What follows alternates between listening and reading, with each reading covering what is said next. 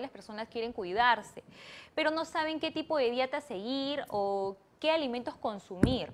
Por este, para este tema tenemos a Juliana Saldarriaga, que es nutricionista, quien nos va a hablar sobre los mitos, mitos sobre las dietas de verano. Hola Juliana, ¿qué tal? Gracias por la invitación. Gracias a ti. Juliana, hay varios mitos, ¿no? De, sobre las dietas en general. Sí, definitivamente, sobre todo en esta época ya empiezan las dietas de moda, ¿no? Entonces la mayoría de personas ya se empieza a cuidar o a ver qué dieta puede bajarse quizás del internet o pasarse de alguna amiga o algo para empezar a seguirla y llegar al objetivo de estar lista para el verano. Ahora, eh, empezamos con los mitos. Eh, en el verano dice que por ser verano se tiene que comer menos calorías.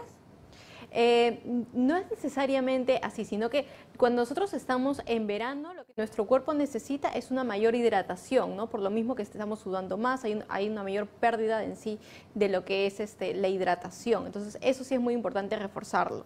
Pero si nosotros vamos a realizar nuestra actividad física normal, de igual forma necesitamos la misma cantidad de calorías depende también del peso de la persona. Sí, o sea, definitivamente para llevar una dieta adecuada, es eh, la dieta debe ser personalizada, ¿no? Porque todos nosotros no tenemos la misma talla, el mismo peso, no realizamos la misma actividad, también debemos considerar de que las mujeres de por sí tenemos más grasa que los hombres, entonces todos esos factores deben ser considerados para el momento de hacer una dieta.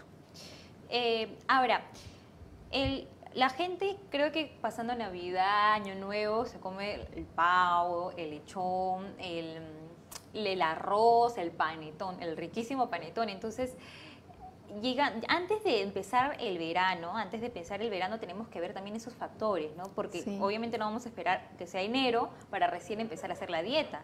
Ese es el tema, ¿no? Como siempre eh, comento a veces algunos de mis pacientes van al consultorio y justo eh, el típico es de que van porque tienen el matrimonio de un familiar o porque tienen en dos sí, semanas. en dos semanas quieren bajar todo lo que no han hecho en todo ese tiempo, ¿no? O por ejemplo dicen ya se acerca el verano o tienen un viaje programado a alguna playa, no un destino donde tienen que lucir el, bikini, claro. Entonces la típica operación de bikini se ve en, que acuden la mayoría de personas y realmente no debe ser así. Nosotros deberíamos estar cuidándonos desde antes considerando sobre todo que en diciembre siempre hay desórdenes con los excesos, ¿no? El, como tú mismo comentabas, el panetón, el chocolate, acá a veces también se acostumbra comer adicional helado, el panetón ponerle, el pavo, el champán, entonces son bastantes desórdenes que se hacen y que, eh, y que una dieta en, en épocas de Navidad puede llegar a las 4.000 calorías tranquilamente, entonces realmente el doble de que una persona estaría necesitando, ¿no?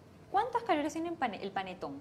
El panetón te puede dar una tajada, un aproximado de 350 400 calorías. ¿Y eso equivale más o menos a cuánto? Estamos hablando de unos 8 panes, 7 panes. 8 panes en una tajadita de panetón. Y si le agregamos mantequilla, ya, si nosotros vamos a añadir muchísimo, exactamente, porque estamos sumando a eso el chocolate que también tiene una grasa y nosotros a veces no nos tomamos la molestia de saber si ese chocolate realmente es 100% cacao, ¿no? Simplemente el que a veces nos llega en la canasta ya se está preparando, ¿no?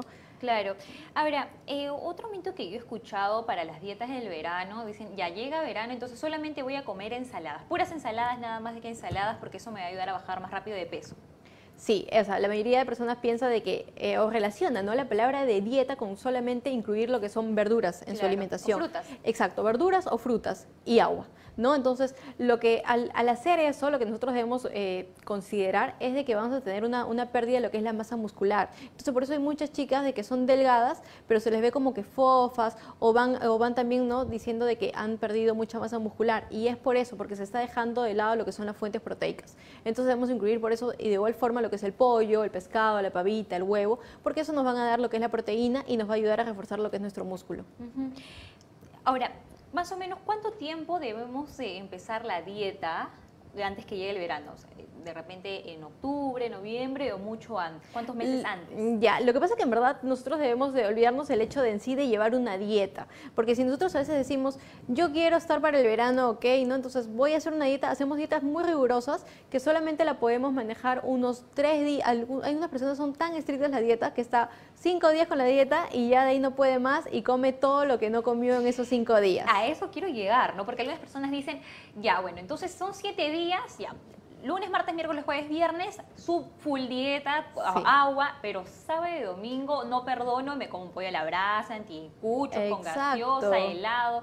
Entonces, ¿y eso ayuda a que bajemos de peso? No, no, definitivamente, porque estamos haciendo total un, un desbalance total, ¿no? Entonces, no sirve el haberme cuidado de lunes a viernes para que el sábado y domingo haya, eh, me coma todas las calorías que no, no he consumido durante la semana es igual el tema de la dieta, ¿no? No, por ejemplo, yo me voy a matar, decir, voy a estar un mes a una dieta rigurosa y ya no tuve la reunión que quería o logré lo que quería para, para tal fecha y luego vuelvo a mis hábitos sino que lo que nosotros debemos hacer es aprender a comer de una manera saludable, porque de esa forma ya no necesitaríamos estar con unas dietas estrictas, ¿no? Y simplemente mantener estos hábitos saludables y mantener nuestro peso, ¿no? Nuestro, nuestro sistema eh, inmunológico eh, también óptimo, ¿no? Y nuestro estado de salud también adecuado hace un momento entonces estábamos mencionando el tema de la Navidad porque ya estamos ya estamos, a puertas sí, prácticamente. ya estamos cerquísima Navidad y pero y Navidad es comer pero durante, el pavo se come por 3, 4 días recalentado, ¿no?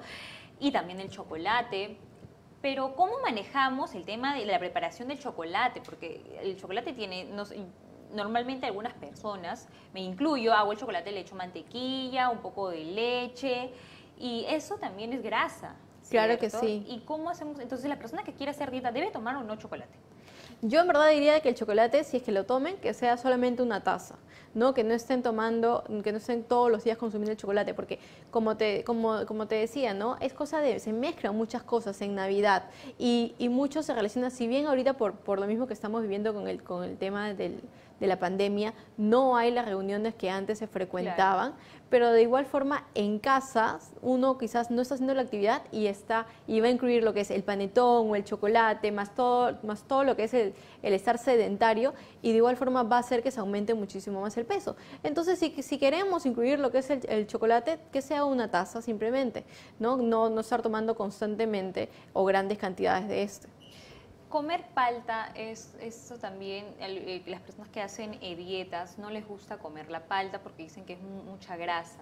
Pero debemos saber que la palta es una grasa buena, entonces no habría ningún problema de por qué incluir, de, incluirla en, nuestra, en nuestros alimentos. ¿Y qué otro Se puede consumir la palta, eh, se puede consumir el aceite de oliva, que también es una grasa buena, los frutos secos también es una grasa buena, solamente que hay que saber las cantidades, ¿no? Porque si bien los, los frutos secos es una grasa buena, pero también si como una bolsa de frutos secos son bastantes calóricos, y va, a ser también este, un motivo quizás para el incremento del peso.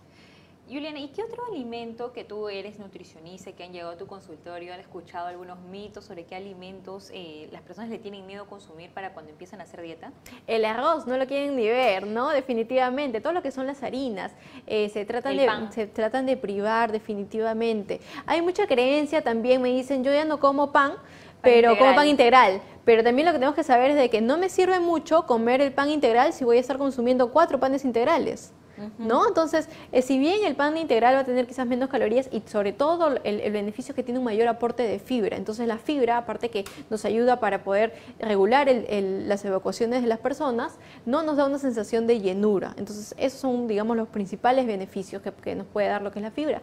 Pero de igual forma, si nosotros consumimos grandes cantidades, o sea, estamos consumiendo tres panes, cuatro panes de pan integral, va a ser lo mismo. ¿No? Entonces, es muy importante las raciones, las cantidades que nosotros vamos a consumir de los alimentos. Entonces, en eso también nos, le vamos a ayudar nosotros los nutricionistas, porque nosotros vamos a decir, de acuerdo a tu gasto, de acuerdo a tu, actividad, de acuerdo a tu edad, tú deberías estar consumiendo tanta cantidad, ¿no? Entonces, eso es una guía que también es muy importante tenerla en cuenta. ¿Y los fideos? Los fideos también se pueden consumir, ¿no? Pero va a ser, eh, no va a ser un plato lleno de fideos, sino simplemente la porción se reduciría. Estaríamos hablando de tres cuartos de taza. Y otro, otro truco, ahí también hay un, entran algunos trucos, ¿no? Yo, por ejemplo, cuando recomiendo lo que son las pastas, recomiendo lo que son las pastas cortas. Porque del hecho, pastas, cortas? los, mm, eh, digamos, estos fideos que son simplemente los hornillitos, ah, ya, de acuerdo esos videos, ¿por qué? Porque del hecho de que uno esté hincando y comiendo uno por uno, eso también de estar masticando más tiempo también nos hace que llegue la, la orden al cerebro que se encuentra ya saciado, a que simplemente esté ¿no? con, con las pastas largas que uno puede comer un poco más sin darse cuenta. La, y la gaseosa, algunas combinan la gaseosa con agua y ahí de repente reducen un poco el tema del de, gas o le quitan el gas. Igual es súper De igual forma, exacto, ¿no? O sea, no porque estamos haciendo esa mezcla quiere decir de que no va a tener el azúcar, o sea, la composición va a ser la misma, solamente estamos diluyendo que de esta forma obviamente no va a ser tan, tan dulce la sensación, ¿no? Pero sí se recomienda de, definitivamente si estamos buscando disminuir nuestro peso, evitar lo que son las bebidas gasificadas y optar más por agua, refrescos naturales, infusiones. Tenemos acá para hacer una gran variedad, tenemos lo que es la chicha morada, que también es muy rica, ¿no? Y saber de que no deberíamos estar eh, añadiendo mucha cantidad de azúcar, ¿no? O limitarla o cambiarla por una stevia que es más natural. La stevia es muy utilizada. La stevia es muy buena realmente, siempre hay que saber eh, dónde comprarla en un lugar de confianza, porque también lamentablemente ahora que la gente se está preocupando más en su salud y cuidando, salen muchos productos que no son verdaderamente ecológicos u orgánicos como, como quiere decir ¿no? la propaganda. Entonces hay que revisar un poquito más la composición de esta para realmente consumir alimentos que sean beneficiosos para nuestra salud y que nos sigan ayudando en nuestro objetivo que va a ser el controlar ¿no? nuestro peso. Ya, ahora dime, el, tema de no comer platos calientes en verano. Dicen que eh, comer lentejas o frijoles que son muy pesados eh, generan como que aumento de peso mucho más rápido. ¿Eso es cierto? No, en realidad no, no, va, no va a tener nada, nada que ver con eso. El, lo que puede ocasionar las menestras a algunas personas que tienen digestión lenta, porque también hay personas que su digestión es mucho más lenta, entonces se puede generar malestarles como cólicos, flatulencias. Eh, si es por un tema de gusto, las lentejas se pueden incluir también como una ensalada, entonces no habría ningún problema ahí. Ahora, el, el tema del tomar solamente agua y unos pocos alimentos o solamente agua y fruta, eso generaría también un problema a la salud. Sí, definitivamente, ¿no? Como les comentaba, el, el, el excluir ciertos alimentos va a hacer que nosotros tengamos alguna deficiencia y por lo tal se pueda presentar alguna enfermedad, ¿no? Por ejemplo, eh, puedo tener una anemia, de, una anemia, ¿no? Por una falta de, hierro, eh, puedo también tener, eh, si quizás me está faltando lo que es la proteína, que entonces son, son nutrientes que son muy importantes en la dieta por eso es que debemos llevar una alimentación balanceada, cubrir todos los grupos de alimentos, pero saber simplemente las cantidades adecuadas de estos. ¿El yacón qué es? El yacón es una fruta que sobre todo se recomienda para las personas que son diabéticas. Ahora también hay stevias basadas en el yacón, ¿no? Como para ayudarnos a endulzar de una manera más saludable. Porque hay extractos que se, se hacen, se preparan para bajar de peso. Con el yacón, sí, porque el yacón, como, digo, como te comentaba, da, aparte que da esa sensación, digamos, de un dulzor natural, ¿no? Entonces es también, eh, se utiliza también para personas que están buscando por eso disminuir de peso.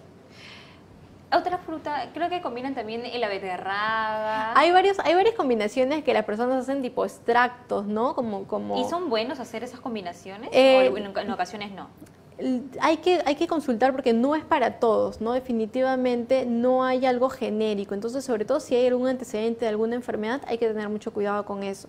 Eh, ¿Puede ayudar para, para refrescarnos o para recibir las cantidades de vitaminas o minerales de estos nutrientes? Sí, pero no lo vamos a recibir en la misma cantidad si lo consumiéramos en una ensalada, ¿no? O la fruta directamente, que es lo más adecuado. Entonces, comer frutas eh, sin... Eh, al natural, frutas al natural es mucho mejor, igual que unas verduras eh, frescas, que también podría ser, es mucho mejor antes que una cocida.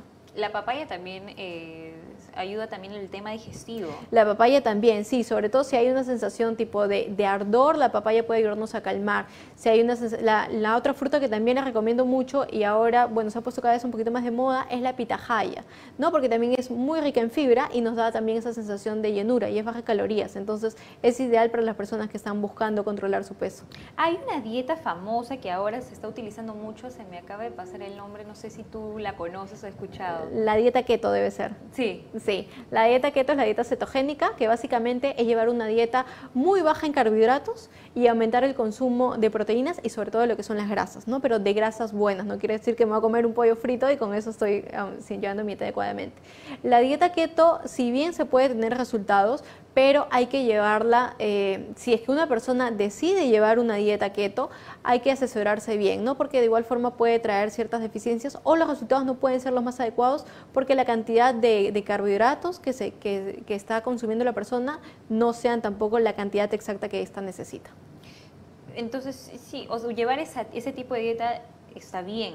Podría, de que podría dar resultados, sí, estaría bien, pero siempre y cuando se asesore. Lo que pasa es que antes de poder decidir una dieta para llevar, lo ideal es primero pasar por evaluación de, de un nutricionista y de un médico también, porque yo no de que, por ejemplo, si yo tengo colesterol elevado, triglicéridos, o soy hipertenso, soy diabético, no puedo animarme de frente a llevar una dieta. Tengo que primero ver cómo están mis niveles, porque puede ser que esté con anemia o algo.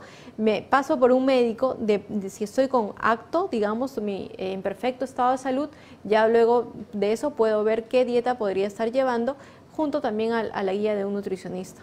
Ahora, todo el mundo piensa que la dieta necesariamente es para bajar de peso, pero llegando el verano, también las flaquitas usan la dieta, pero no para bajar de peso, sino para aumentar masa muscular. Y para las flaquitas, algunas eh, dicen que comer mucho, solamente pollo, pechuga de pollo les va a servir para aumentar eh, masa muscular o eh, la, em, ayuda a aumentar la masa muscular en las piernas, ¿no? que la mayoría es lo que busca en el verano. ¿Eso es cierto?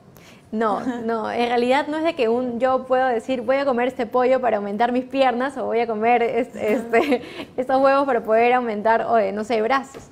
No, no es tan mágico, en verdad. sería, sería genial.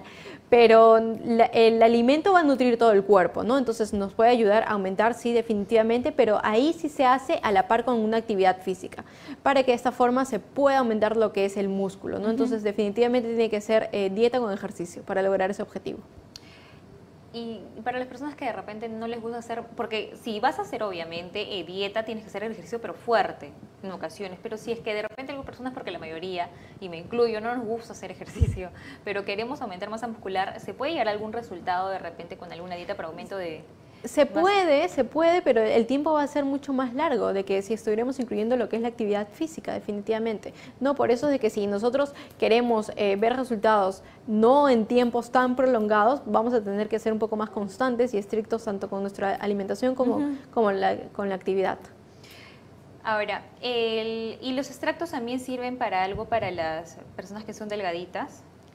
Eh, no, porque básicamente el, extracto, como digo, puede, nos puede dar cierta cantidad de, vitaminas, de minerales, pero lo que más tenemos que reforzar en las personas que son de bajo peso es su consumo de proteínas y, de carbohidratos, ¿no? Porque pueden haber alteraciones. Lo que pasa es que a veces también nosotros no somos conscientes de cómo estamos llevando nuestra alimentación hasta que en el consultorio normalmente yo hago un recordatorio 24 horas, ¿no? Entonces empiezo a preguntar qué es lo que come una persona en todo el día. Ya ahí vemos, por ejemplo, de que quizás no tiene una media mañana, una media tarde, tarde y cosas así. Entonces, eh, vemos que ahí qué deficiencias están faltando y qué debemos reforzar con la dieta.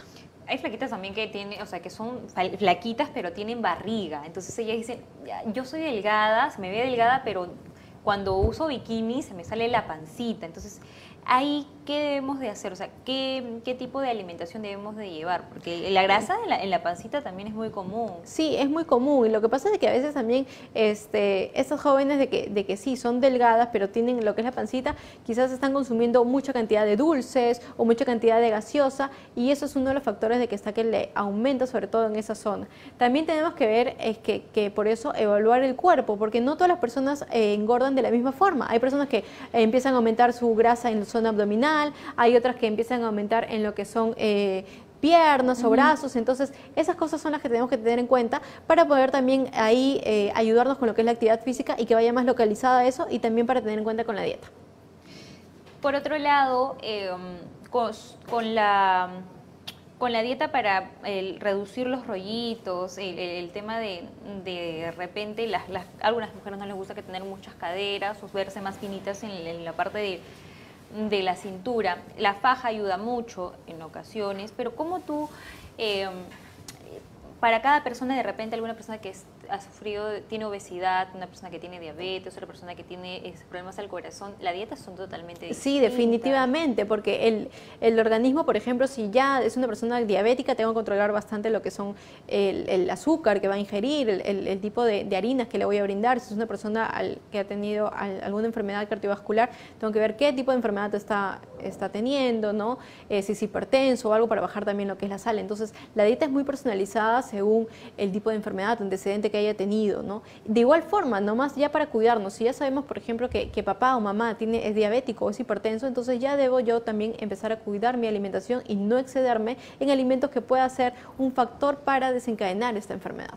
El consumo de, las comidas, es decir, lunes, martes, miércoles, jueves, viernes, domingo, toda la semana, consumir lo mismo tampoco ayudaría a bajar No, tampoco, porque si nosotros recibimos la misma cantidad, no, o sea, también a veces van eh, eh, pacientes que dicen todos los días haciendo lo mismo. ¿no? Y me reduzco bastante. Entonces estamos recibiendo la misma cantidad de calorías y es por eso que a veces nuestro, nuestro peso se estanca, ¿no? Y nosotros decimos, me he estancado, estoy con el mismo peso, porque no tenemos una variación en lo que son los alimentos que estamos ingiriendo. Todos los días es, por ejemplo, una ensalada y pollo, ensalada de pollo, ensalada de pollo, entonces no va a haber variación y también aparte que podemos tener alguna deficiencia de alguna vitamina o de algún mineral. El consumo de... Hay unas pastillas para bajar de peso y le dicen las pastillas milagrosas para bajar de peso. ¿Funcionan realmente? Hay bastantes pastillas, entonces hay que tener bastante cuidado con ello, porque hay algunas pastillas que sobre todo se trabajan cuando son eh, pacientes que tienen una obesidad mórbida, entonces se necesitan someter, digamos, a una cirugía eh, por, por algún tipo de emergencia o algo, entonces se necesita bajar esta persona rápidamente de peso. De esta, de esta, si no es el caso, en realidad hay que tener mucho cuidado eh, cualquier otro tipo de fármaco que, que, piensa una persona ingerir, siempre consultarlo con el médico, porque puede también traer eh, algún tipo de complicación, sobre todo de tipo cardiovascular. Entonces, a tener cuidado con esto. Ah, hay una pregunta en, en redes sociales sobre Carmen Cajavilca. ¿Por qué cuando en la mañana como huevo y en la tarde como palta me pongo mal, vomito, fiebre y diarrea? Puede ser que simplemente eh, su organismo no, no puede digerirlo adecuadamente. Entonces, si es que ya ha observado de que, de que le está pasando esto al, al, consumir en el desayuno lo que es el huevo y en la noche lo que es la palta, yo le diría que lo separe, que simplemente que un día pruebe consumir el huevo de una manera zancochada, que tal vez no sea frito, y ya para otro día dejamos la palta y vamos a ir viendo ahí cómo va la tolerancia. Tenemos otra pregunta, es sobre las dietas extremas con el consumo de la manzana, la pera y la avena todos los días, sí. Sí, como digo, sí, hay, hay, dietas que son la dieta de la piña, la dieta de la manzana, cada día salen diferentes tipos de dietas. Como digo, son modas, ¿no?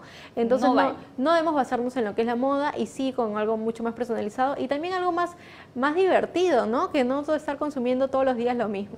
Las dietas, eh, las bebidas verdes para bajar la grasa rápido. ¿Hay alguna un, no, hay ningún, no hay ningún brebaje de, bebidas verdes? no, hay ningún, no hay ningún este, preparado que realmente nos haga mágicamente quemar lo que es la grasa, ¿no? Simplemente sí nos puede ayudar a darnos esa sensación. Algunas personas quizás pueden ser estreñidas o pueden estar con, con una sensación de pesadez y obviamente al consumir, digamos, estos, estos extractos nos puede ayudar a evacuar, ¿no? O a, o a disminuir esa sensación de pesadez que se ha presentado. Entonces, eh, entendiendo, Juliana, las dietas no es que dejemos de comer, que comamos lo mismo o solamente fruta y agua o verduras y agua. Exacto. Es decir, tenemos que comer lo adecuado, pero balanceado. Exacto, debemos de comer, llevar una alimentación balanceada, no debemos dejar de lado ningún grupo de alimentos, solo debemos aprender cuánta cantidad necesitamos según lo que nosotros también gastemos, ¿no? Entonces, si nosotros hacemos más actividad física, nuestro cuerpo va a necesitar un poco más de cantidad y también lo que nosotros busquemos. Si obviamente estoy buscando aumentar masa muscular, no va a ser lo mismo de que una persona que está buscando bajar de peso. Y tampoco no hay un alimento de que se vaya directamente a alguna zona del cuerpo para reducirlo o aumentarlo o no hay un brebaje. La, la pechuga de pollo para las flaquitas. O no hay algún brebaje mágico que simplemente al tomarlo me pueda quemar toda la grasa eh, que tengo en el cuerpo en exceso. Bien, Juliana, hemos llegado al final de la entrevista, se ha pasado súper rápido, pero ha sido muy amena la entrevista y súper eh, descriptiva. ¿Dónde te podemos encontrar? ¿Tus redes sociales? Eh, sí, pueden encontrar en lo que es el portal de salud en casa o en mi Facebook estoy como nutricionista Juliana Saldarriaga o en mi Instagram también como Nutri Julia Saldarriaga. Bien, Juliana, hemos estado hablando con la doctora Juliana Saldarriaga, nutricionista, sobre los mitos de las dietas de verano. Nos vamos a hacer una pausa comercial y regresamos. No se olviden que estamos a través de los 91.9 FM, PBO, la radio con fe.